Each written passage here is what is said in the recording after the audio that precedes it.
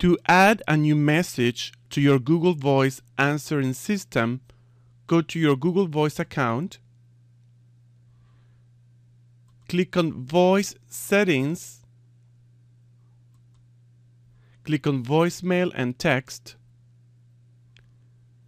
To change the system standard message, click on Use phone to record a new greeting. Give it a name.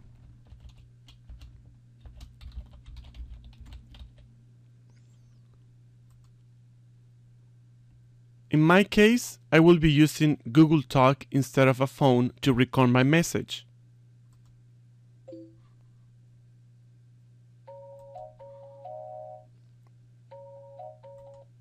Start recording your greeting after the tone. When you are finished, press pound.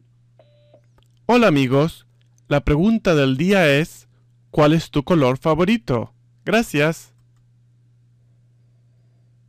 Your current greeting is Hola amigos, la pregunta del día es, ¿cuál es tu color favorito? Gracias. To keep this greeting, press 1, or to re-record, press greeting saved. You may now hang up to end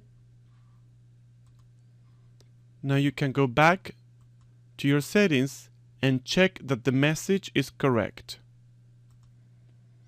Hola amigos, la pregunta del día es, ¿cuál es tu color favorito?